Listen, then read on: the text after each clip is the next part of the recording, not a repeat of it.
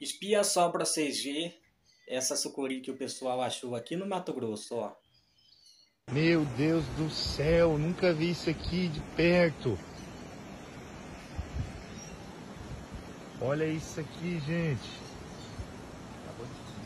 Aqui no, perto de um, de um córregozinho, nas lavouras.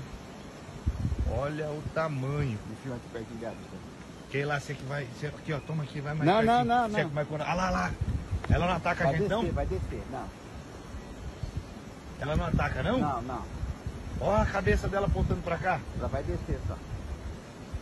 Moçada, esse, essa sucuri é linda demais, mas Olha falar um negócio pra vocês, hein? Dá um certo medo de ver que Aqui mesmo, esses dias nós fomos é, dar uma volta de barco aqui no Rio, Rio Paraguai, Pantanal, Mato Grossense.